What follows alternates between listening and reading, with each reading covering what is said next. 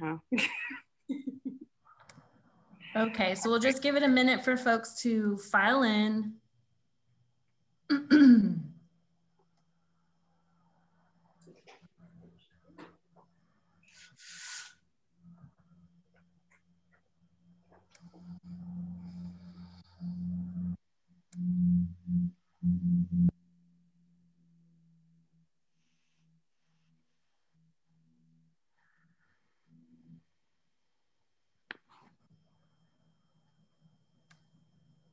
All right, so it looks like there's still people joining the space, but I'm gonna go ahead and start with announcements. Uh, greetings everyone, my name is Rachel Hasta and I'm with UNM's Division for Community Behavioral Health.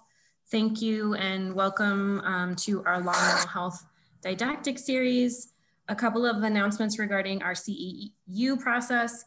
Uh, in order to qualify for the CEUs, you need to be on the lecture for the full hour in the last five minutes of the lecture, we will uh, put the evaluation link in the chat. If you uh, toggle the menu with your, um, or your screen with your mouse, you'll see at the bottom there's a green button, or not a green button, there's a chat button. Uh, you'll click that and that'll open your chat box. The link will be in there. Copy and paste it or click on it um, and fill out the evaluation. When you're finished with the evaluation, a certificate of completion will be automatically generated for you. Uh, it's your responsibility to save it. So if you're on your smartphone, you'll want to take a screenshot of the document. If you're on your computer, you save it as a Word or a PDF. If you're joining us by phone, you can email me and I'm, I will be happy to email you the link to the CEU. Um, we are recording, so we should have a recording link for folks um, after following the, the lecture. Um, and I don't think I asked you, Brian, are you um, are, do we have permission to share your slides with folks too? Yeah, yeah, I'm happy to do that. Okay, so, and a lot of people have emailed me regarding last week. Um, Dick Rogers still has not given me permission about sharing his slides. So um, we are able to share the, the Zoom link and I'll send that out to everybody, the recording. But uh, as it stands now, we still don't have permission to share his slides. Um, and so if you have any questions, you can submit them in the chat or the Q&A or not the chat. I think the chat is disabled for attendees. So in the Q&A, if you have any questions, submit them there and I'll hand it over to Simone. Hi everyone. So welcome to the University of New Mexico Law and Mental Health Didactic Series. So this series is hosted by UNM Department of Psychiatry and Behavioral Sciences and the New Mexico Behavioral Health Services Division. So we're so glad that you all joined us today. My name is Simone Fullion. I'm an assistant clinical professor in the Department of Psychiatry and Behavioral Sciences. Um, I just want to put a plug out there for next week's presentation. We hope that you join us for Michael Vitacco, who will be presenting forensic evaluations in the age of social media. So should be pretty interesting. Next, just a little housekeeping on how things are going to go today. So for this talk, please ask the questions in the Q&A at any time that you want, but just know that we're going to be answering them at the end of the presentation, okay? Also, you know, we have a lot of people that attend these. We do our very best to get to all of the questions if we can, but if we don't get to yours, we apologize in advance because we only have so much time to be able to do that, okay? Um, again, Rachel already explained the CEU process, but if you're on a tight schedule, just make sure you log out at the hour. Um, you do have to attend the full hour, but um, Bree has graciously offered to stay, I think, for a couple minutes afterwards to ask, answer questions. So if you are able to hang out for questions, then yeah, please do so. Okay. So now what we all are here for today is to hear about uh, suicide risk from my good friend Bree. So I'm really excited. Thank you so much for, uh, you know, being volunteered to do this for us. I really appreciate it. Um, and it's nice to see you. Great. so I'm going to give a little bit of a bio for you. Uh, so Dr. Brianne Layden completed her PhD in clinical forensic psychology at Simon Fraser University clinical internship at the University of Massachusetts Medical School Worcester Recovery Center and Hospital, and a forensic psychology fellowship at the University of Massachusetts Medical School.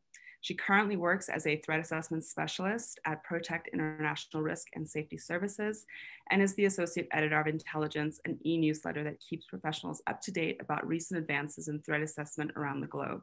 Her expertise involves the assessment and management of self-directed violence and personality disorders, particularly borderline personality disorder, and the intersection of risk um, with those issues. So she's provided trainings and workshops, invited presentations for forensic mental health, law enforcement, corrections, security, victim services, higher education, and has co-authored over 50 articles and conference presentations. She's currently in the process of developing a structured professional judgment guideline for the assessment and management of self-directed violence, which is what she is going to be presenting with us today for. She's also a really wonderful human and has a really great story about her and her brother and a bear that I'm not going to share today, but it stays who let her do the introduction? Okay. I, I didn't share the story. All right. Thanks so much again, Bree. Appreciate you being here. I'm going to go dark. Enjoy. Okay. Thank you very much for Simone, uh, to Simone for the lovely introduction uh, and uh, sharing my personal story. If that comes up in the Q&A, I will not answer that at the end. Um, I just wanted to thank the University of New Mexico for putting on this series. It's I know a lot of hard work in, in putting this together every week, and this has been really nice. I know for myself and my colleagues to have available to us during the pandemic, especially um, when opportunities for continuing education and professional development are limited. So thank you very much for putting in all of that hard work behind the scenes, and I'm appreciative of the opportunity to present uh, on self-directed violence with you guys today. Um, so we already gone through the bio, so I don't need to do that, plus some additional personal information. Um, but I just want to state that I have no financial relationship to the program and also the views that are expressed in this presentation are that of um, my own and do not necessarily represent the views, policies, um, and positions of the University of New Mexico. In terms of learning objectives, uh, it's my hope today that I'm really just going to give people a lay of the land on what's happening in the field of self-directed violence, risk assessment, and management. So I'm going to start with our professional responsibilities in this area. Um, that's going to be the first bit that we'll talk about. And then next, we're going to move into looking at different procedures that are being used across different sectors. Uh, so comparing and con contrasting across different sectors. And then I'm going to end, as Simone said, with a discussion of comprehensive assessment and management of risk for self-directed violence, focusing on the structured professional judgment model um, in this area. So I really just want to give people an overview of what's available and what's out there, what's being used, and whether or not um, some of the tools that you might be using are fulfilling these professional responsibilities that we have for self-directed violence. Okay, I want to start with this uh, first slide from the World Health Organization. This was from their World Report on Violence and Health in 2002. And I think this is a really important um, point that they made is that they've defined violence as including or encompassing three broad forms or types. The first one being self-directed, so any violence directed towards the self. Uh, the second one being interpersonal, so general violence, and the third being collective, violence that's engaged in to further some goals or objectives of a group. So this could be things like, um, you know, group-based violence, like terrorism or gang-related violence. Um, I think this is a really important point because some of the problems that we see uh, today in terms of assessing and managing risk for self-directed violence are that we see this as being very different from violence towards other people. So we see people using unstructured clinical judgments. We also see people um, doing quick 10 to 15 minute question and answer periods, asking the person, you know, do you want to kill yourself? And then making a decision about management on the basis of very limited information. I think that um, the field would do a lot uh, by borrowing from the other areas. So by looking at some of the advances, some of the arguments or debates that have happened in fields of general violence or group-based violence, and using that same kind of advancements to apply to self-directed violence, I think we would do a lot better. Um, we've long known that doing comprehensive assessments for violence risk is necessary, but across different sectors, we don't seem to think the same thing around self-directed violence risk. So we still see these really short evaluations that people are doing. So I guess my, my goal with this presentation and starting off with this slide is to get people to think about this more like we think about violence towards others, just like the World Health Organization has defined it in this way. And I think the more that as professionals we start to um, approach this risk in that way, the better that we're going to do in terms of fulfilling our professional responsibilities. And when I talk about those responsibilities, it's a bit of a changing landscape depending on the sector that you're working in. So I wanna highlight some of those issues in the presentation today. So in terms of the definition of self-directed violence, um, it's impossible for us to come up with an exhaustive list of all of the things that count as self-directed violence. We can't um, possibly put together this list. We're always gonna have those cases that we come across that are like ends of one, where something comes up that we haven't seen before and we're left scratching our head saying, does this count as self-directed violence or is this something else? Um, so broadly, we need a, a, definition that's flexible, that it can change with a changing social or societal landscape. And it also allows us to consider new behaviors um, and ask ourselves, is this something that I think counts? Should I be treating this in the same way as I would treat other forms of self-directed violence? So broadly, the definition is that any conduct that causes actual, potential, or reasonable fear of physical self-injury that is intentional and unauthorized. So the first thing that we need to do is to look at the behavior. What is it that the person's actually done? When we're trying to figure out if something counts as self-directed violence or meets the definition, we have to ask ourselves, what did the person do? Was it cutting, burning, scratching? Was it asphyxiation, overdosing? Was it restricting eating to the point that it causes tissue damage? Um, very often when we do training on self-directed violence, we have people that ask us, does substance use count? Does overdosing count? Or does um, eating disorder behavior that causes tissue damage, like anorexia nervosa, does that count as self-directed violence? And the answer is just like, you know, the answer to many questions in psychology is that it depends. Um, and one of the things that it depends on is what's going on in the person's head at the time. What were they thinking when they engaged in that behavior? And when we think about intent in this definition, it includes everything that um, starts with you know, no suicidal intent or no lethal intent, sometimes called non-suicidal self-injury, all the way up to behaviors that include uh, clear lethal intent or where the person was clearly wanting to die when they engaged in the behavior. And you'll find ambiguous or vague intent somewhere in the middle. So it's important for us to ask ourselves not just what did the person do, but what were they thinking at the time that they engage in this behavior. The reason why um, in this definition we encompass both non-suicidal self-injury and suicidal behavior is that you know it's great for us in terms of research. I've done research in this area and I often separate out non-suicidal and suicidal self-injury, especially when we're trying to think about risk factors that are unique or overlapping in both of those risks. So it's useful in terms of research. Clinically, though, and in practice, when we think about our legal and professional responsibilities, it's um, safer for us to include these behaviors as being on a continuum or a spectrum. Anytime that we're working with someone or evaluating someone that wants to harm themselves or somebody else, this triggers some responsibilities on our behalf. So treating this on a continuum, much like we would treat um, other directed violence, so assault all the way up to say homicide, for example, we do the same thing with self-directed violence so that it triggers the same response. And we're not saying that anything that's non-suicidal self-injury isn't also important or warranting a response from us. Um, if you've worked in this area with patients uh, doing treatment, for example, people that engage in non-suicidal self-injury, we do see that um, you'll have some patients that will engage in non-suicidal self-injury for years and then all of a sudden have something that where they cut too deep or they took too much of a particular substance. So there's always that risk that it could um, turn into a lethal or a harmful, a very harmful event. So in this definition, we um, encompass both non-lethal and lethal intent. Also, if you've worked in this area, what you probably are thinking about right now is that oftentimes we don't know what the person's thinking at the time. Um, and if we do ask them what they're thinking at the time they engage in a behavior, we get responses like, I don't know what I was thinking. I don't know what I was intending. I'm not sure if I wanted to die or I didn't want to die at that time.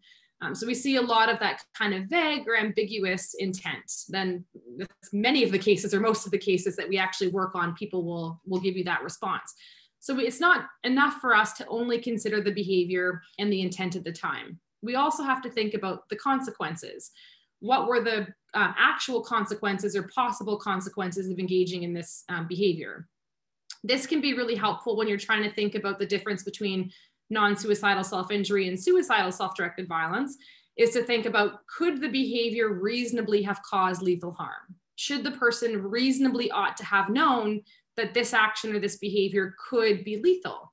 Were they so reckless in their engagement in the behavior that they didn't care about the outcome? And if so, you might be thinking that this behavior lies more on that suicidal end of the spectrum or more lethal end of the spectrum rather than non-lethal. Um, so it can be helpful to think about what were the actual consequences. This can also be helpful when we have some behaviors that people engage in that are risky, but it's not, we don't think it should meet this definition of self-directed violence. So I often get the question in training is do um, base jumpers where you're jumping off of different structures like buildings or cliffs, for example, does that count as self-directed violence? It could, it has the potential to cause physical self-injury. So it's important for us to think about the consequence, the intended consequence of the behavior. Is the person engaging in the behavior because it causes physical self-injury? Or are they engaging in the behavior despite the fact that it might cause physical self-injury? Um, typically base jumpers, I have a friend who is one, God knows why they do this, but they get some enjoyment from it. Um, they're not doing it because they're wanting to hurt themselves. They're engaging in the behavior for other reasons, in spite of the fact that it, it has this potential risk of causing injury. So thinking about the intended consequence of the behavior can also be helpful when you're trying to determine, does this count as self-directed violence? The last part of this definition that I'm gonna emphasize is the unauthorized piece in the text on the top. Uh, this is important for us to build into the definition that we have for self-directed violence because the landscape or the, the legal land or social landscape around self-directed violence changes. So we don't want to include behaviors that are socially sanctioned or authorized. So very recently in Canada, we legalized physician-assisted suicide. So this behavior is authorized, it's legal. We wouldn't want to count this as meeting the definition of self-directed violence in the same way as unauthorized or not socially sanctioned suicide attempts, for example. Also, there's some cultures who engage in um, self-directed violence or self-injury like self-scarification, but it's not to cause physical self-injury. It's a means of identifying themselves when they're moving between different groups or, or tribes, for example, so that when they move around the land or the area that they work in, that they're able to be identified by other groups as belonging to this spe specific or particular tribe or group. Um, so it's not, it wouldn't meet the definition because it's socially sanctioned, it's authorized in that way, it's culturally appropriate. Um, so we also wanna make sure our definitions for self-directed violence take into account diversity related issues. So we're not including things that we shouldn't that are, are culturally appropriate. So our definition should be flexible, it should be broad, and it should weed out the behaviors that we think are um, diversity related issues or socially sanctioned behaviors. Okay, so now that we've gone over the uh, definition of self-directed violence, I'm just going to briefly touch on um, how big of a problem this is across sectors, just to give us a bit of a foundation to understand that this isn't something that's just occurring in you know, correctional centers or healthcare, for example. So when we look at traditional sectors like hospitals or correctional facilities, we see in hospitals, rates of about 3.2 per 100,000, somewhere between 48 and 64 hospital suicides, so occurring in a hospital setting per year in the US. Um, when we look at closed facilities like prisons or correctional centers, we see a much higher rate, so 23 per 100,000. Um, this is um, expected in some ways when we have closed facilities uh, like prisons, we see, or jails, we see a lot more elevated rates of lethal self-directed violence.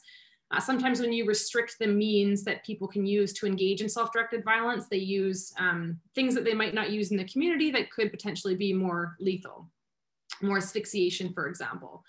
Um, so we see rates between 3.2 and 23 per 100,000 in traditional sectors. And when we look at non-traditional sectors like workplaces or institutes of higher education, we see much lower rates of suicide in workplaces. So 1.5 per million individuals between 2003 and 2010. When we look at higher education, we see again a higher rate somewhere between hospitals and closed facilities, around 6.17 per 100,000.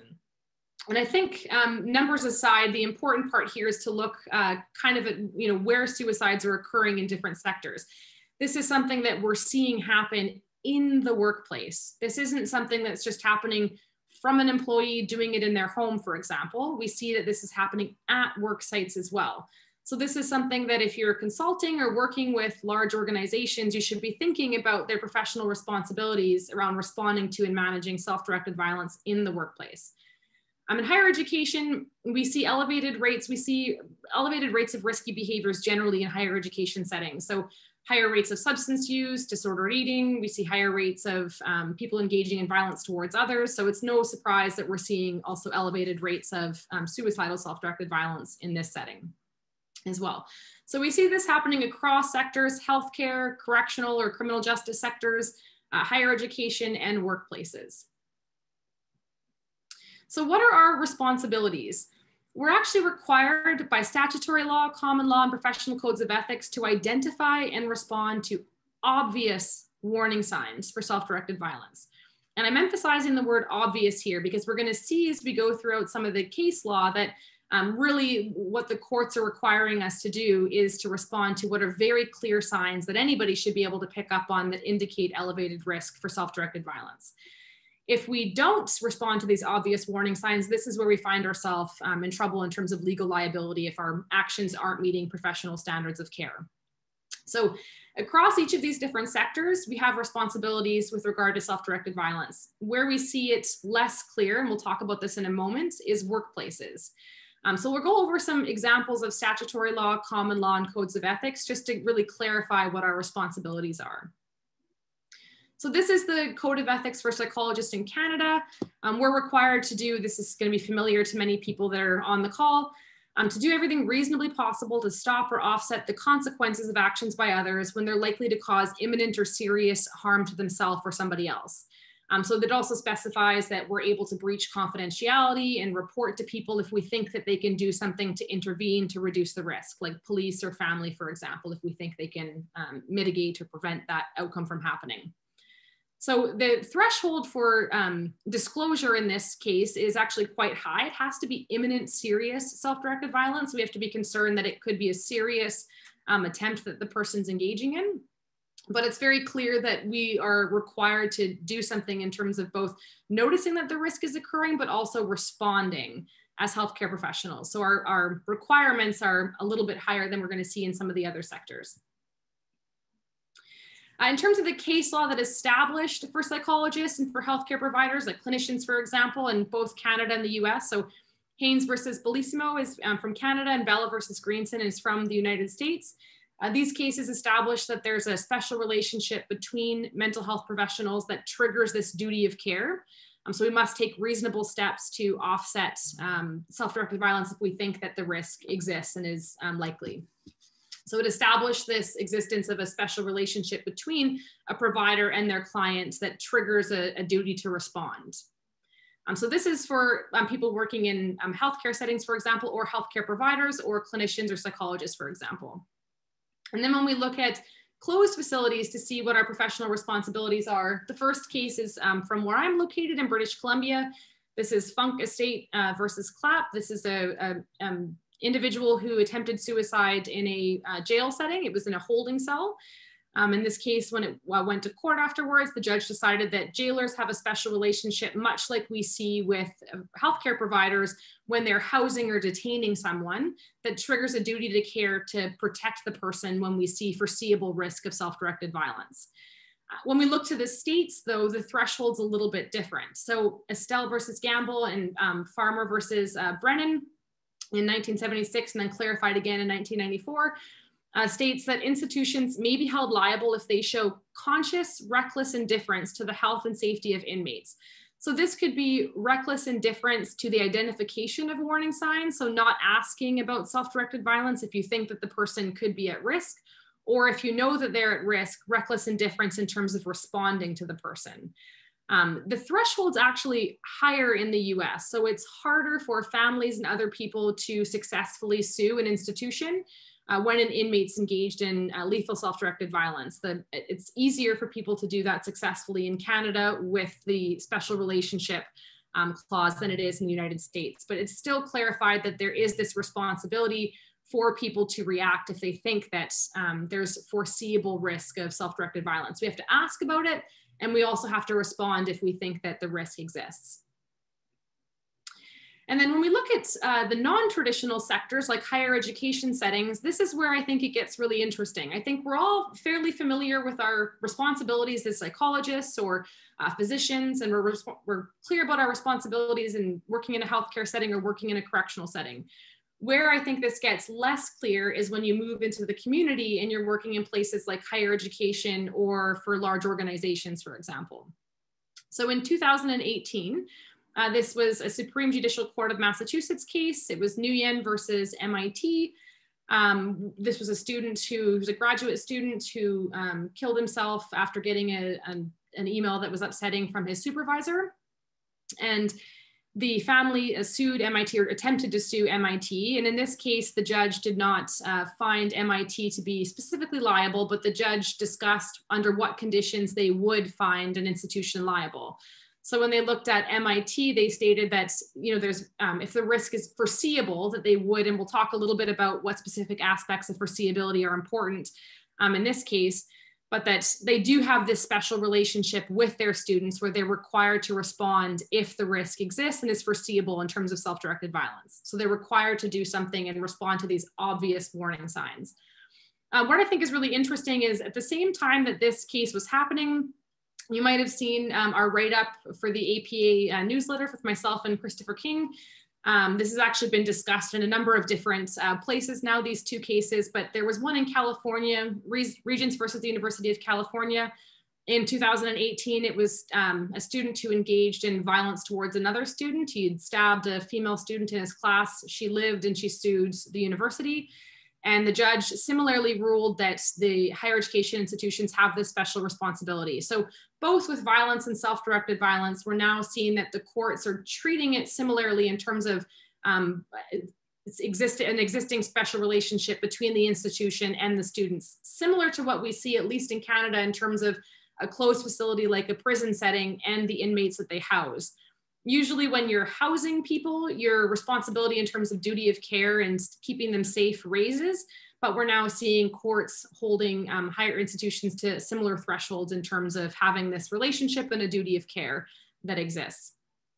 When we look to workplaces, I'm just going to give an example from British Columbia for, from our occupational health and safety regulations where I'm located um, it becomes a lot less clear what people's professional responsibilities are to um, respond or to identify warning signs for self-directed violence. So if you look at our regulations in British Columbia and you search for the word suicide, it will not come up anywhere. It's nowhere stated in our reg uh, regulations that people are required to do anything in response to suicide. And this used to be true for violence risk if you looked 20, 25 years ago as well. You wouldn't have seen any specific um, requirements around violence risk in the workplace and what employers are required to do to keep employees safe. But it was always encompassed under this general duty provision. So even in provinces in Canada right now that don't have specific um, requirements around violence, the employer is still required to take steps to keep their employees safe from this risk under the general duty provision where they're just required more generally to maintain a safe workplace that um, doesn't expose workers to undue risk of occupational disease um, to any person. So I contacted um, the representative from the Occupational Health and Safety Office in British Columbia to ask them what their thoughts were around self-directed violence and professional responsibilities. And they said that they're actually currently doing assessments in workplaces so if a workplace is concerned about a particular employee that they may pose a risk for engaging in self-directed violence at the workplace, they can phone and get some support and they can connect them with resources. So they're starting to do these evaluations and he believed that it would be counted under this general duty provision that if it's obvious and it's foreseeable and you think that it could expose other employees, for example, to this person's behavior, so causing psychological harm to other employees, that this would be something the employer is required to take steps to prevent. Um, so it was his opinion that in the next revision of our occupational health and safety regulations, you might see a little bit more clarity around what employers are required to do uh, to respond to self-directed violence. So they started to put some best practice guidelines and some tips and strategies around what they do on their website as well. So it's a bit of a changing landscape here. Um, we tell people when we're consulting with them that it's probably best to assume that you do have some responsibilities or duties in this area and to take steps to prevent it. Um, even in Canada, where we haven't had the same uh, cases come up in higher education institutions, we often look to the US when courts are deciding on a new case that we haven't seen specifically in Canada. So when the Tarasoff case came out around responsibilities in terms of violence uh, risk posed towards other people, we had the Smith versus Jones case in Canada that relied heavily on the Tarasoff case. So we would expect something similar to happen around self-directed violence in higher education. And we would expect something very similar in terms of our responsibilities in workplaces now that we see this changing uh, landscape so that they're actually doing these assessments. The other thing that tells us that um, we, you know, our responsibility should be increasing somewhat in this area, we should be paying more attention to suicide in the workplace is that in Canada, um, this was in 2013, the national standards were published, and this is a, a, a, guidebook or a reference manual that you can use to try and improve the psychological health and safety of people in your workplace. And it provides a lot of resources and guidelines on different areas that you can improve upon and self tests or self assessments that you can do to see how your workplace is doing. And they specifically mention suicide in this um, workbook of this reference manual dating back to 2013. So stating that organizations should have procedures in place for reporting and investigating any workplace psychological health and safety incidents, including things like suicide. Um, so we can't really state that if we're, you know, consulting with an organization where a suicide happens, they can't really state that they didn't know that they might have had professional responsibilities in this area, given the recommendations and the publications that are coming out around best practices for prevention and management um, in workplaces. So just encourage people to pay attention to this area a little bit more. We're likely to see this change a little bit um, as the years go on. Okay, so what are the implications of this? At minimum, regardless of the sector that you're working in, professionals or providers in each of these sectors are required to identify obvious signs of self-directed violence risk. Beyond the identification of obvious warning signs, your responsibilities are going to vary depending on your specific profession. So if you're in a higher education institution, for example, or you consult with them, your responsibilities as say a psychologist in terms of managing risk is going to be higher than what they would expect for a staff or faculty member.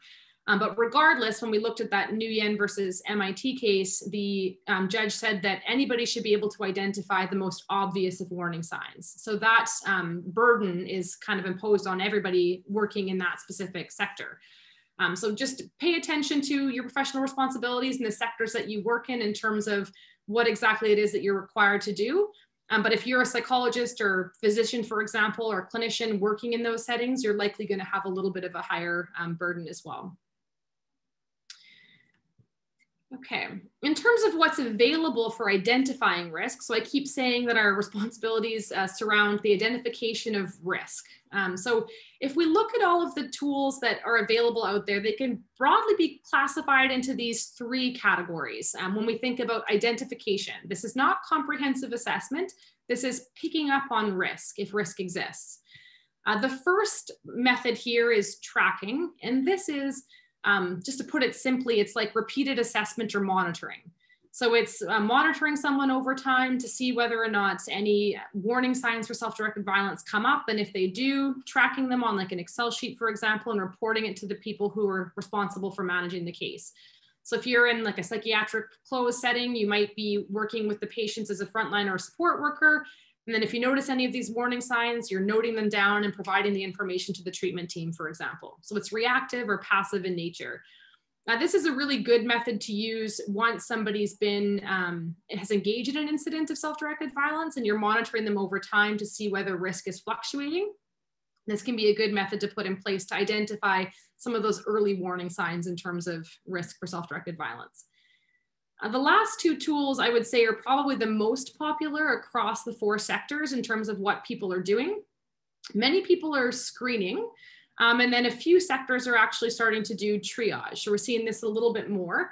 Um, but screening is probably still the most popular method that people are using. And screening is inherently diagnostic or predictive in nature. And I think it's important for us to think about what is our tool, what's what is it actually doing, what's the purpose of it, and is it meeting my goals? So screening is, as I said, inherently diagnostic or predictive. So it's meant to identify caseness, whether or not someone, for example, is of a particular case, like are they at risk for suicide compared to some non at risk population? So to be able to pick up on differences in terms of risk or to predict whether or not somebody's going to engage in self-directed violence. So they're statistical in nature in terms of their development. Um, and they're very concerned with sensitivity and specificity. And oftentimes when we think of screening and you look in healthcare settings like um, screening for mammograms for breast cancer, for example, it's meant to identify people who need treatment, um, who need a specific intervention in order to decrease the, um, the risk that was identified. So that's usually what screening methods are used for broadly. And triage, it's used in healthcare settings as well, but the purpose of it is a little bit more functional rather than um, statistical or predictive in nature. So triage, the purpose of it is to identify any warning signs or primary warning signs for self-directed violence. So usually acts, threats, or thoughts of self-directed violence. And then if you have multiple cases or if you're working in an area in which you're dealing with multiple different individuals that are on your desk in terms of assessment, you identify the warning signs It helps you prioritize your cases and then to implement immediate actions. Um, so the difference between uh, screening and triage is triage is not necessarily concerned with prediction per se, it's more concerned with prevention. So identifying a warning sign and then taking steps to mitigate that risk.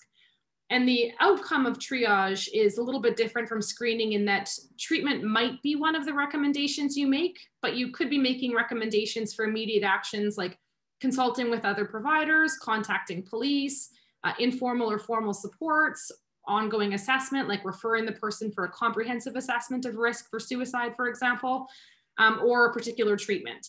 So there could be a variety of different outcomes and the outcomes are tailored to the specific sector that you work in and the resources that are available at that particular site, for example. So it's um, highly tailored to where it is that you're working and what resources you have available.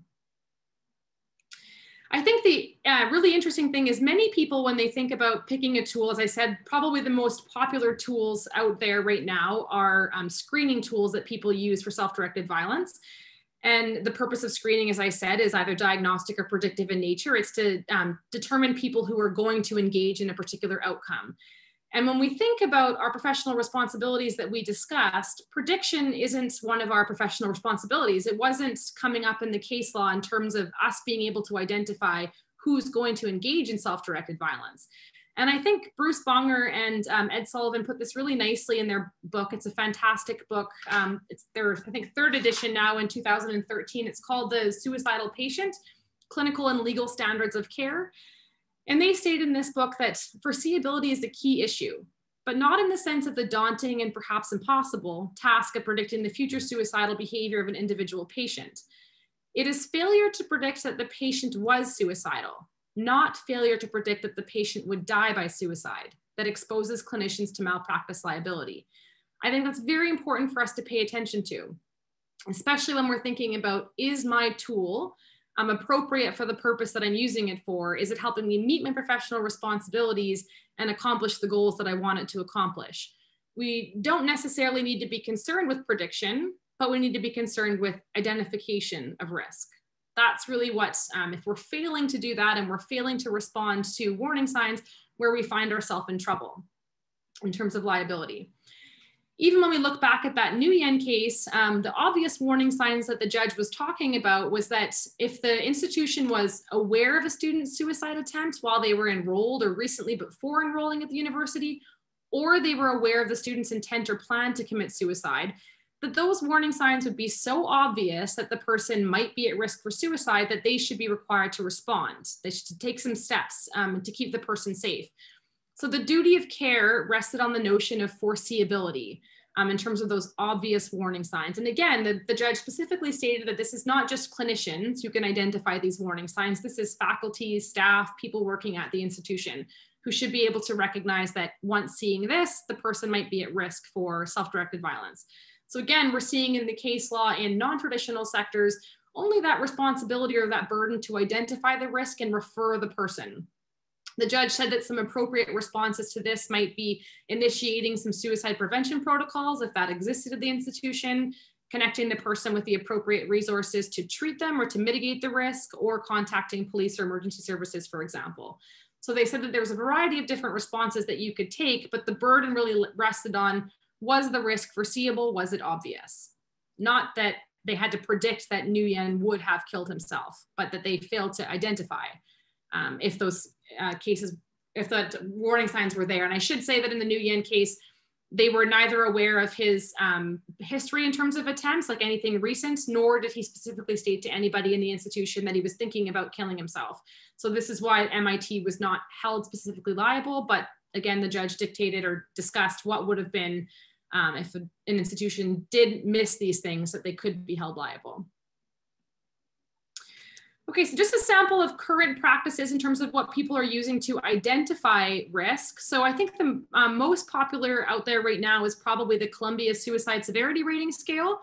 This was developed in 2011 by Posner and colleagues. Uh, since then, they've developed a whole host of different um, tools. So there's screening tools, there's triage tools, and there's tools for comprehensive assessment of risk for self-directed violence. Um, so this is, we see coming up in the more traditional sectors more often. So in many healthcare settings in Canada and the US, this is the primary tool.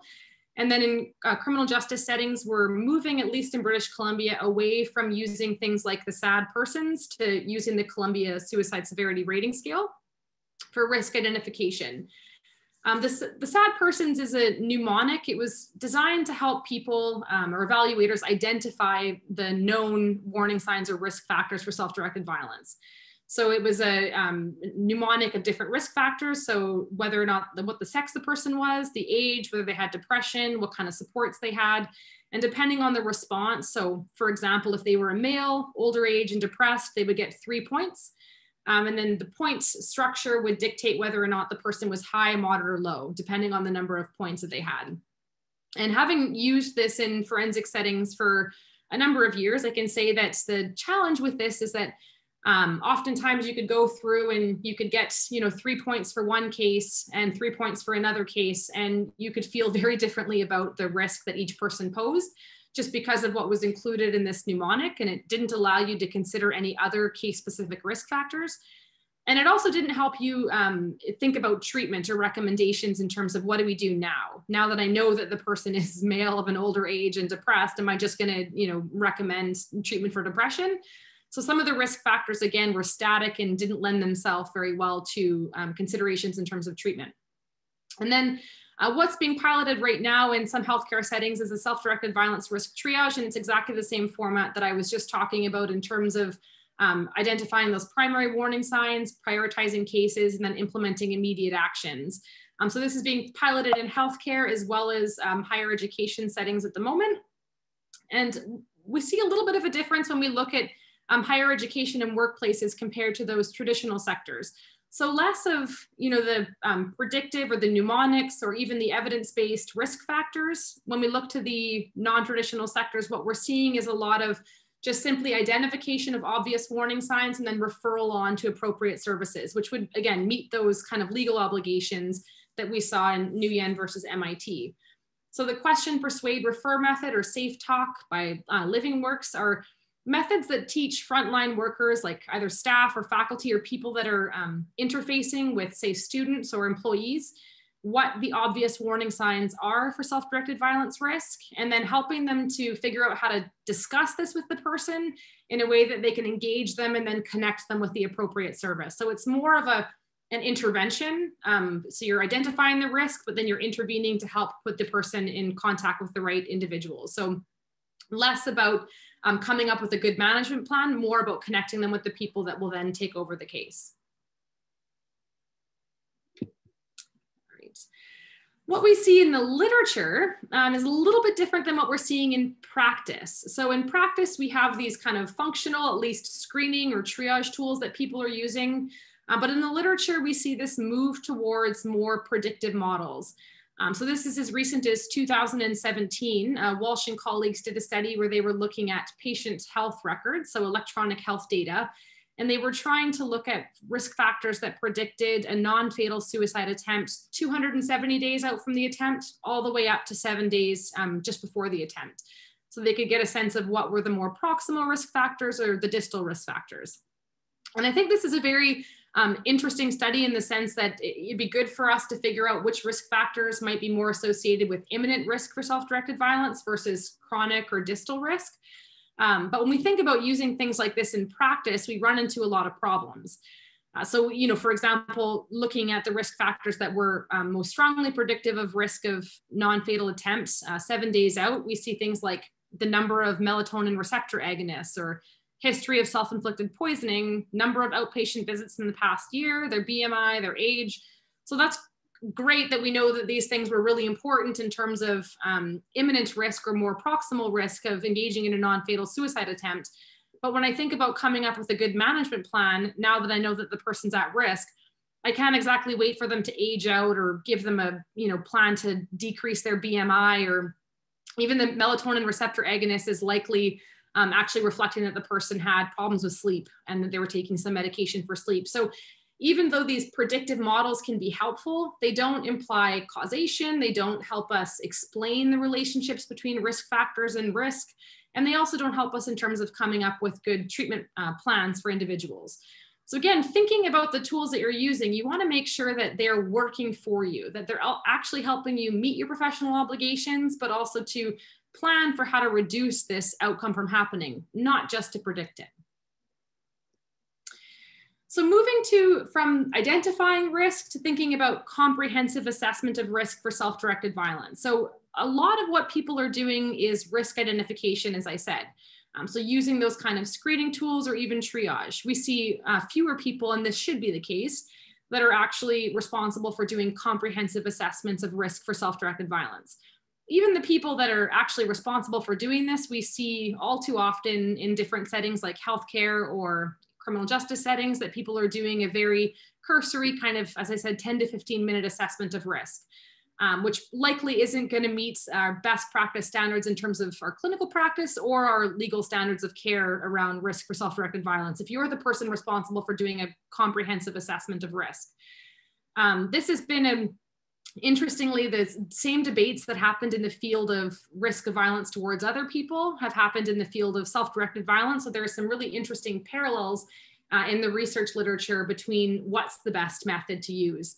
Um, so we see, same as we saw with violence risk, these two broad approaches um, early on. So back in the, say, 70s, for example, um, there was a lot of people that were using unstructured clinical judgment. So this is where you're taking the risk factors and you're weighting or combining them in um, you, by using your own judgment and not any fixed or explicit rules. So it's more impressionistic, uh, it's more intuitive. Um, and this, the scholars and the academics kind of reacted to, you know, there's a whole debate about that we don't do this any better than chance. So we need to have structure. And so there was this kind of push to moving more actuarial or predictive methods. And we're still, we're kind of seeing a full circle back to that in the academic literature back to more of those predictive models. Um, but the reaction to the unstructured clinical judgment was to you know, have clear structure on how to weight and combine things. This is a mathematical or statistical approach to risk prediction to get away from those pitfalls of unstructured clinical judgment.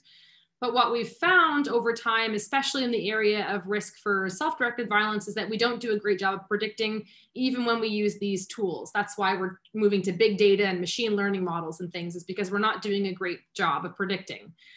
Um, so the, this kind of battle has waged itself in the literature, but if you look at the history of the field of self-directed violence, people have long been saying that either of these approaches are actually inappropriate on their own that we shouldn't be using only our judgment without any structure. And we shouldn't be using clearly statistical or predictive models, that we're not doing a good enough job in terms of bridging that process from assessment to management if all we're concerned about is prediction. Um, so this has been discussed for years in this field that either of these two approaches on their own are not appropriate. And so we should try and find assessment practices or tools that kind of marry the strengths of each of these approaches being able to use evidence-based risk factors, but also being able to use our clinical judgment. Most best practice standards or guidelines that are written on self-directed violence talk about the importance of clinical judgment. So being able to use your intuition, but also to be able to consider case-specific risk factors that might not have been studied very well. Um, so this has been an ongoing discussion in, in this area. Regardless of what you use in terms of a tool, I would argue that any tool that you use should meet these goals, even if it's an actuarial tool or even if it's structured professional judgment, which we'll talk about in a moment, um, or even if you're using unstructured clinical judgment, it should, you should be able to take this uh, tool and look at this slide and it should meet each of these goals. The first one being prevention. Any tool you use in terms of comprehensive assessment should help you plan well, should help you guide and coordinate your activities so that you prevent the outcome from happening. That should be the focus rather than focusing on prediction. Otherwise, what's the point of our assessment? Uh, secondly, it should also uh, increase your accountability to others. So it should be clear when I'm doing a comprehensive assessment of risk for self-directed violence, why I'm making the recommendations I'm making, why I've reached the decisions that I've reached by the time that you get to the end of the report there it should be no secret, just like we say with violence risk assessments, that it should be clear when you get to the recommendation section why I think that's important. Um, it should be transparent to others. but it should also help us improve the consistency of our decisions so that somebody else considering similar information with a similar person and a similar context would make very similar um, decisions or very similar recommendations. Um, so it should improve consistency across raters as well. And finally, it should help protect not just us, but the people that we're working with. Uh, when we've consulted on cases of self-directed violence and people are asking about appropriate tools to use, often the concern focuses on liability, uh, limiting exposure to professional liability.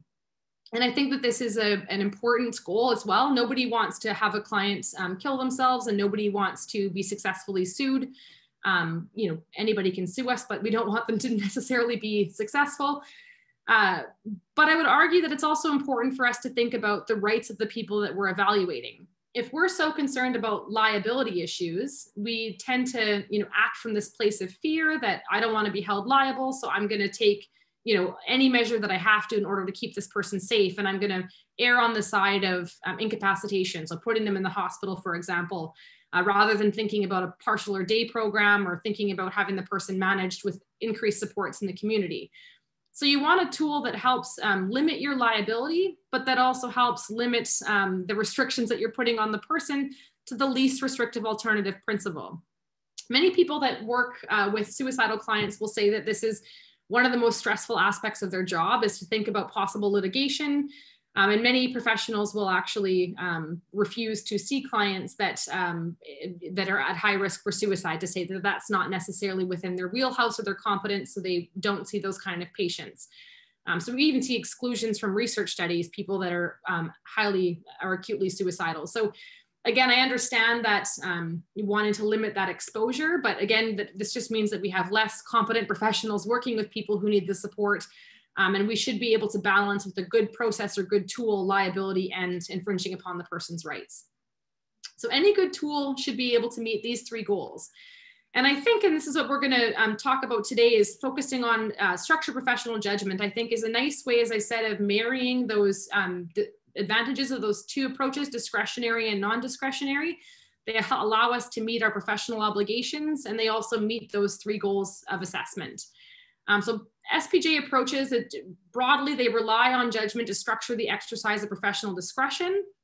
So the goal of the manuals or the guidelines from the structured professional judgment approach is to provide structure to your planning. It's not to tell you what to think, you know, is this person high, moderate, or low?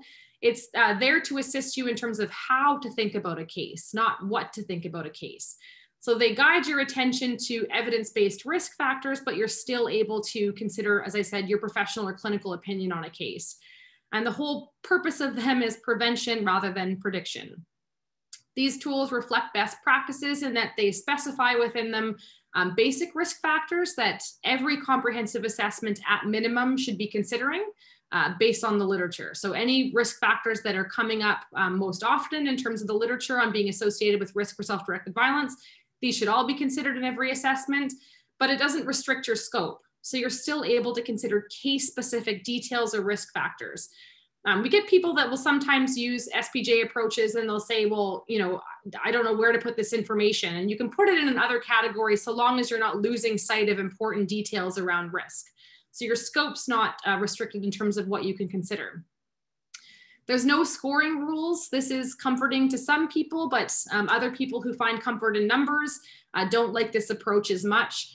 Um, again, it's not going to get you to count up scores to say this person falls in a high, moderate, or low range. And I would argue that, especially when it comes to um, risk for self-directed violence, that that kind of gets us into this area where we're doing somewhat arbitrary assessments, where we're not considering, again, specific aspects of this individual or this case if we're simply adding up numbers of risk factors and then assigning an overall risk level.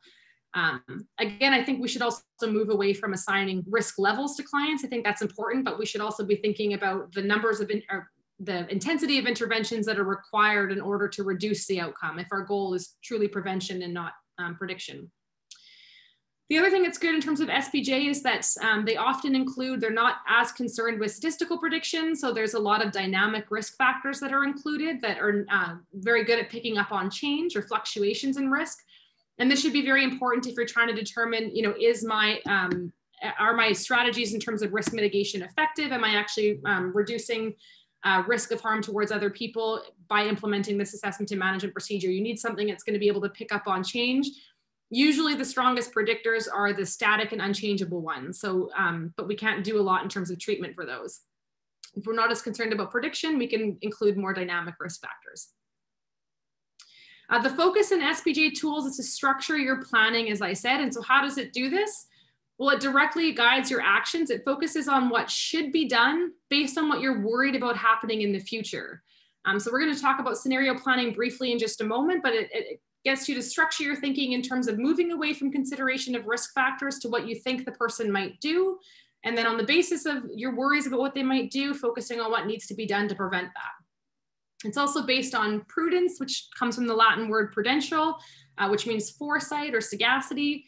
It's where you're combining uh, your knowledge of the literature along with your technical training or skills or experience to make well-reasoned decisions about the future. So it's that combination of what you know in terms of the literature and then your practice or experience uh, to help you think um, in a reasoned way about the future.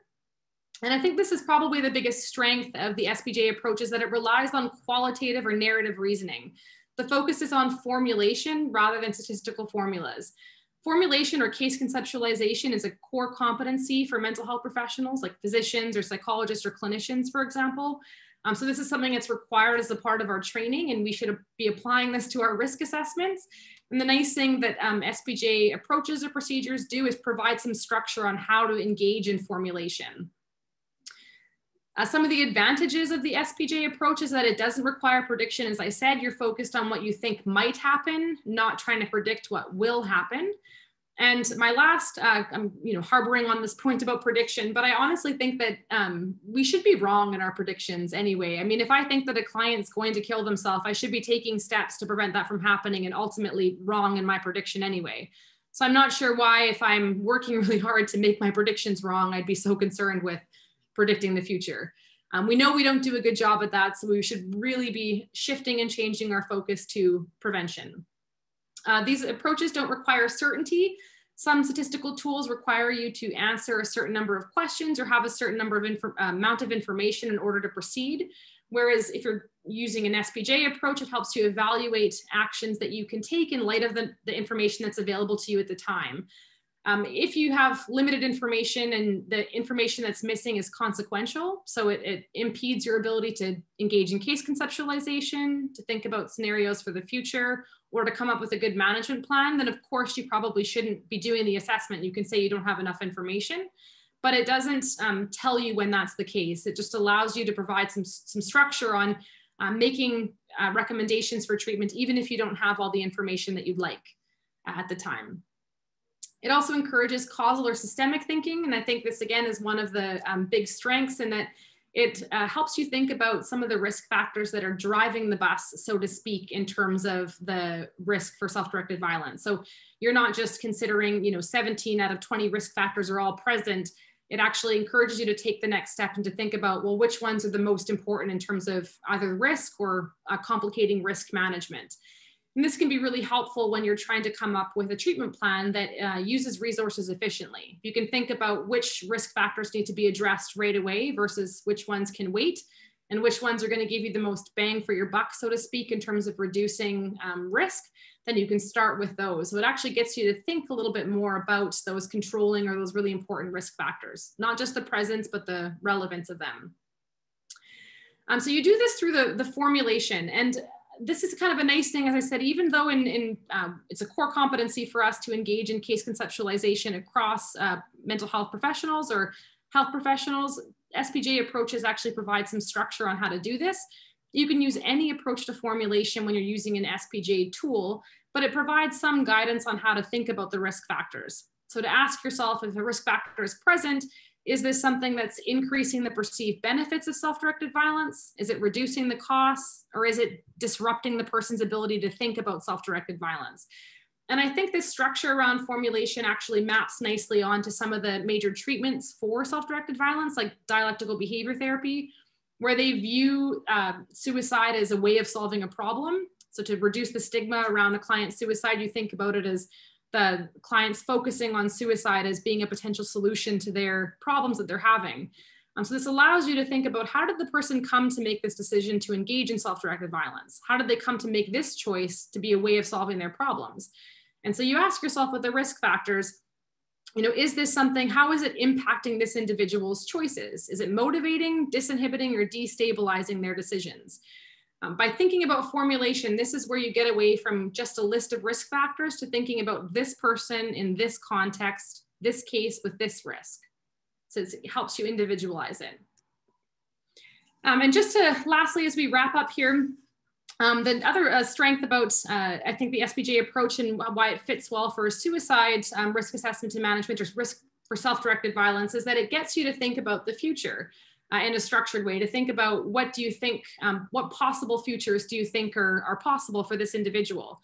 So when you're working in conditions of complexity or unbounded uncertainty, which is certainly the case for self-directed violence, um, scenario planning can be useful. It helps you avoid tunnel vision where you're thinking about just one outcome, for example, to thinking about multiple possible futures that the person could engage in. So provide some structure in terms of how to think about the scenarios. Is the person gonna do just what they most recently did or what they've ever done in a repeat scenario? Are they gonna engage in a different behavior with a different motivation or a change in the context in a twist scenario?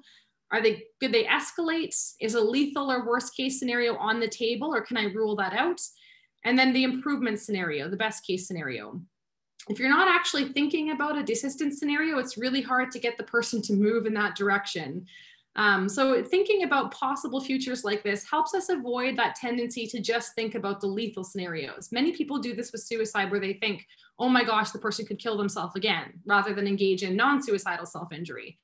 Um, so you want to think about the repeater twist because this directly maps onto the management that you're going to be doing. So based on what you think is possible in these scenarios, you're going to be thinking of different management strategies for the repeat, the twist, the escalation, for example. And you're going to want to include things like monitoring, who's going to be responsible for ongoing or repeated assessments or tracking, like we talked about earlier. Um, what types of treatments, informal or formal, are you going to recommend? should there be any restrictions of freedoms? And then with any good uh, plan for um, suicide or self-directed violence management, you should have a good safety plan. What is the person gonna do when there's um, no incidents of concern, when things are routine? What are they gonna do in non-emergency situations? And then what are they gonna do in emergencies? So you should always have a good um, safety plan in place, but your scenarios are gonna help you think about what types of tactics am I gonna recommend under each of these broad strategies.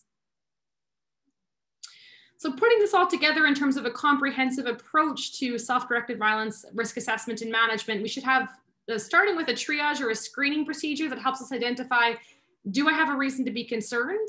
This should always be a first step for you because if you're recommending comprehensive assessment next, you wanna make sure that you have good reason to do so. Once you get to the assessment stage, you're collecting and sharing information about a person. So you wanna make sure, do I even have a reason to be concerned about self-directed violence in this case?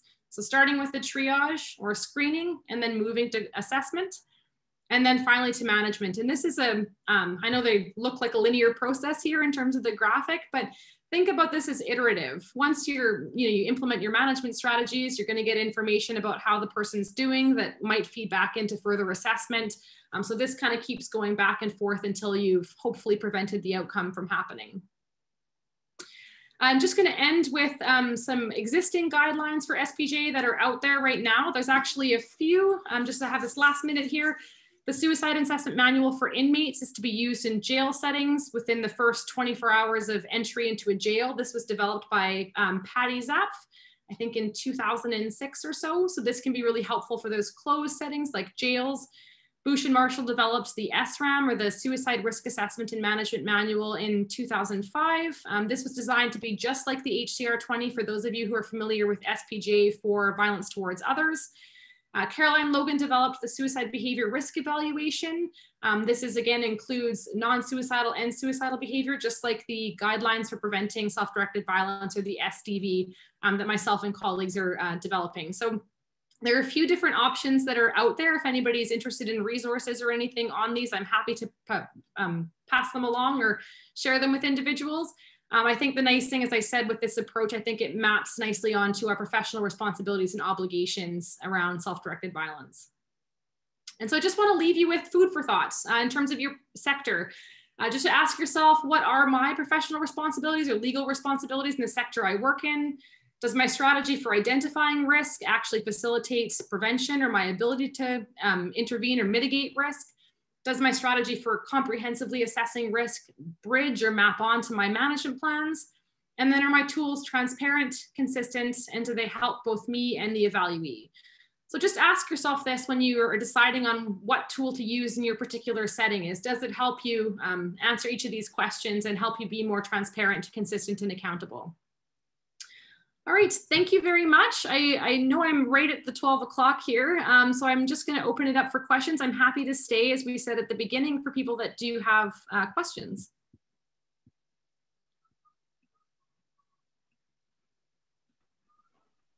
All right. All right. Thank you so much for doing that. Sorry, I suddenly heard myself. There's no echo, right? We're good? We're good. Okay. it's really disorienting for me. Okay, that was fantastic. Thank you so much. I, we have some questions. I'm going to go ahead and read those off. Um, so the first question says um, assessment and management of self-directed violence in those with personality disorders would apply to this individual's research, looking at 22 suicides of um, famous psychoanalysts. He then goes on to say, however, when I approached analytic institutes requesting data on methodology of and reasons behind the suicides from their archives, they were not communicative.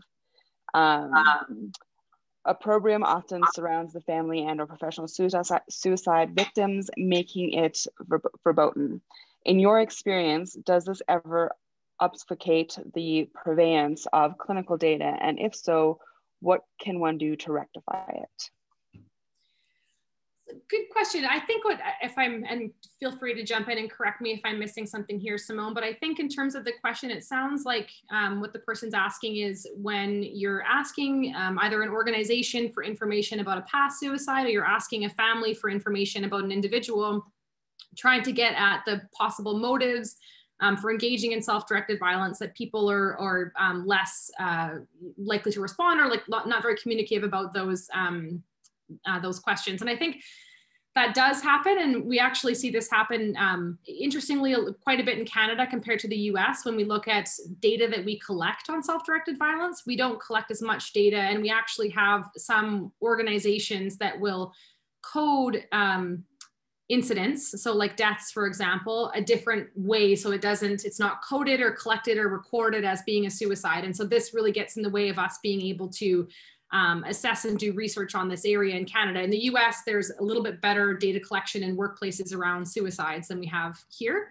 Um, and usually the part of the reason why this happens is that the family actually says, I don't want people to know that this was a suicide. And so that changes the recording process. So this can happen and it is going to, you know, limit your um, assessment in some ways. The approach that I take when I'm working with families is to involve them in the process from the very beginning. So as to, um, you know, of course, following ethics, informed consent, talking to the individual to see if they're, if, if it's a non-fatal attempt to have somebody um, in the family involved so that you can get information from them as well.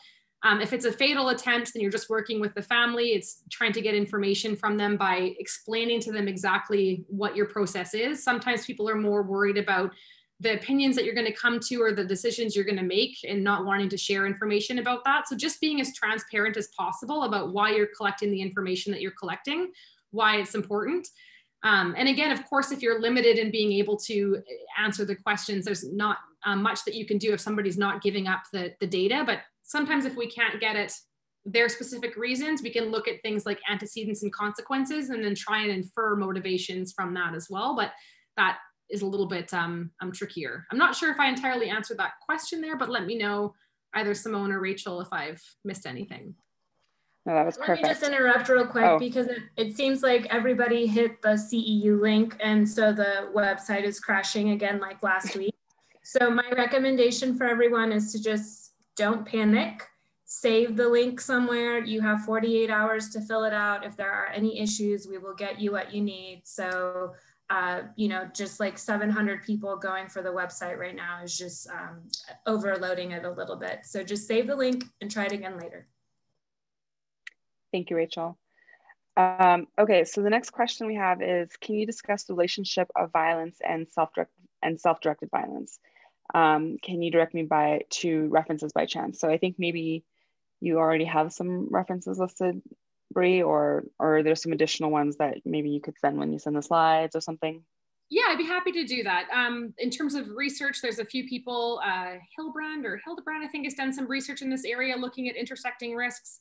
Um, I looked at this in my master's. They, I think that what you're not going to find, if this is what you're looking for, is good guidance on how to do an assessment where you're considering multiple risks.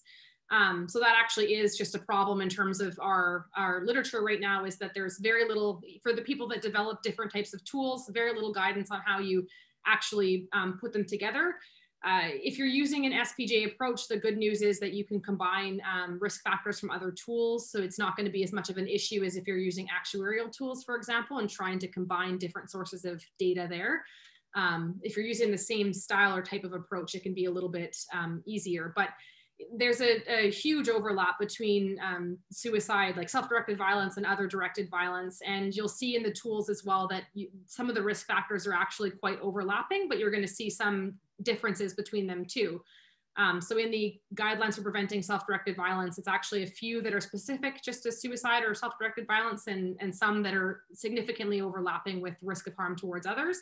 Um, and this is really just true for risk of any type of violence. You see a good core set of risk factors that overlap between all of them. So just make sure that your tool allows you to um, capture all of those important overlapping risk factors, but not lose sight of the unique ones. And then in terms of research, I'm happy to send a couple articles out as well, but it's, it's smaller in terms of the literature base than it should be, I guess I, am saying.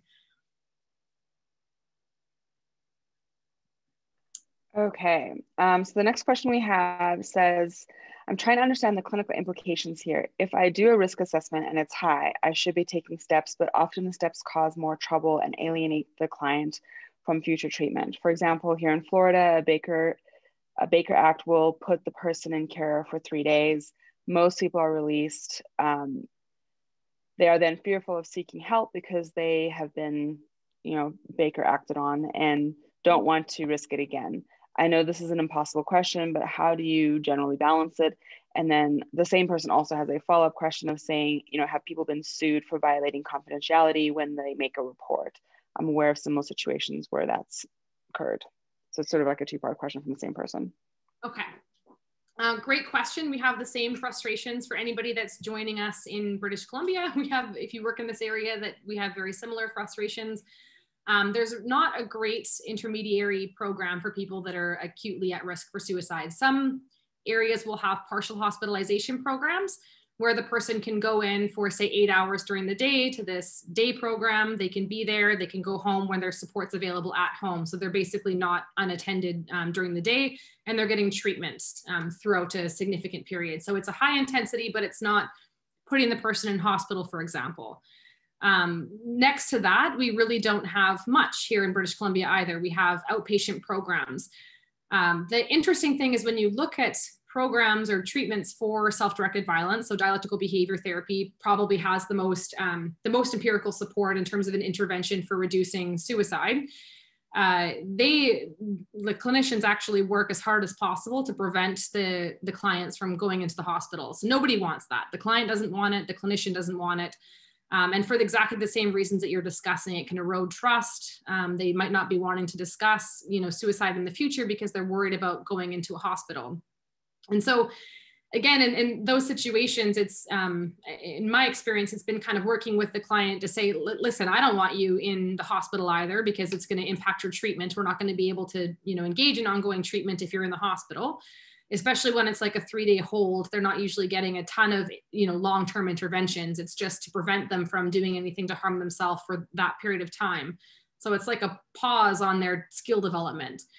Um, but sometimes hospitalization is required in order to keep a person safe. And so it's it's important to just build that trust with your client so that you have a good sense of when it's an emergency and when you can put other um, you know procedures in place for mitigating or managing their risk it might be implementing other community supports or people that they have if if they have that available to them to help keep them out of the hospital when they're in those elevated but not acute uh, stages in terms of risk for self-directed violence. So there's a lot of i know it's a, a challenging question to answer but i think that as i said even the good um, treatment programs will try and keep individuals out of the hospital Sometimes it's going to be necessary, but you really want to make sure that the assessment that you're doing and the tool that you're doing helps you try and um, think through that, where you're not just responding to fear about the person doing it, but you're truly responding to the risks that are that are present, and trying to keep in mind that least restrictive alternative.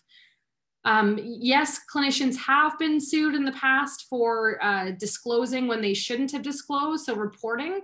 Um, we get this question a lot actually when we're consulting with uh, some of those non-traditional sectors where they'll say, you know, should I be letting the family know about this person's risk? And again, the answer to that is that it depends. If the family can actually intervene and prevent that person from harming themselves in the moment, like say the client runs out of your office and they're going home and they've said that they're going to kill themselves and they're going home to do it, and there's a parent home, for example, or a sister or brother, like a, an adult sister or brother, that you may be able to you know not just call police but also call them as well to say you know this is what's happening. Can you make sure that the person's safe when they when they're there? But calling a family member that's 3000 miles away and letting them know what's going on if they can't directly intervene is not consistent with what we saw in that um, ethics code at the beginning in terms of what we should be doing for um, notification. So really asking yourself that question is the person that i'm telling can they do anything to intervene to reduce the risk um, would be an important question. And then also, am I ex- disclosing just what's necessary in order to prevent harm from happening? So it's that again, like disclosing as little as possible. But um, people have disclosed in what the courts have decided were either to people who couldn't intervene or in non-emergency situations. And then sometimes you'll see people getting um, sanctions, for example, or um, suspensions on licenses or um, being put under supervision through the college, for example. Okay, lots of great job. This is awesome. Just so you know, I've already I've like dismissed them, but lots of really thank you. This is wonderful. Um, some folks are asking for some references, so SPJ guidelines references, please. Um, somebody else is also asking if the measures mentioned for both triage and SPJ assessment, um, if there are any of those that are available for free. Uh, if you know of any like that, um, and maybe if you don't off the top of your head, if you want to send us we can send those out to all the participants, like references and lists of stuff like that. Um, the next question says, how might this approach ideally look within workplace settings? Are psychologists on staff for evaluations and monitoring, or are employees referred out for evaluations and interventions? How do employers have the authority to do this work in an employment context? Great question. I like this. So, um, in in terms of the authority part of it, the really interesting thing is when you look at higher education or workplaces, um, where it gets very tricky is if it looks like the risk is connected to some sort of mental health problem, for example. Um, then it kicks in this, um, you know, duty to accommodate. So the workplace or the higher education institution has to take steps to accommodate the, say, mental health problem or the disability, um, even if it's connected to risk, for example. Um, so that's always going to be a consideration is that what, what is kind of driving the risk? Is there a nexus between a mental health problem and the person's risk? The other um, important uh, point is that workplaces, they have a responsibility not just to the person to you know, provide support and resources and to keep them safe, but to the other employees as well. So that's where I think workplaces find themselves vulnerable is if they have someone, you know, we talked about the stats at the beginning, 1.5, you know, per 1 million cases this happens in the workplace. And if somebody is engaging in self directed violence in such a way that it's causing psychological harm to other people in the workplace, again, the employer is going to have a responsibility to keep the other people safe as well. So it becomes quite complicated. The organizations that we've worked with have used either kind of a screening or a triage procedure to identify those warning signs. And then they'll have, for example, like a threat assessment team or a behavioral intervention team that works within the organization, specifically if they're a large one, um, if not, sometimes they consult out to other people. If they're worried about this, they might consult experts to say, can you do this evaluation? And then they come in and do an evaluation of the person's risk for self directed violence. If you think that the employee is posing a risk of harm to other people by engaging in this behavior, and again, sometimes you have to think about the method that they're going to use. Is the method something that could put other people at risk, or even engaging in it at the office puts other people at risk for psychological harm? Is you're going to have to think about can the person actually be at the workplace or does the risk um, is it, it poses too high so you might have an assessment that's being done while the person's on like compassionate leave or leave with pay while they undergo this evaluation just so that you can get a good management plan in place um, before they come back to the institution. So there's a number of things that employ, employers can do, but the really uh, tough part that they find themselves in is balancing these um, legal responsibilities. So the responsibilities to the other people that the person's working with, the responsibilities to the individual, and then also thinking about um, kind of that nexus. Is there any duty to accommodate issues here um, or conduct related issues that we should also be talking about? So it becomes a, a complicated legal landscape, um, but it is something that employers can do and many of them start with that triage process where people are educated on what the warning signs are or screening and then referring to a team or people that are responsible for doing either a little bit more of a comprehensive assessment or referring out to experts or consultants to do the evaluation. Great. Um, so a couple folks are sort of asking about uh, maybe suggestions on how to you know, if they're interested in the measures of the SPJ tools that you just reviewed, um, including the one that you're developing with colleagues, they're asking what the best way to do that, you know, to access or review them. Um, similar question here saying you mentioned resources, assessment tools. How can we get access to those? Um, do you have any just general suggestions for folks or?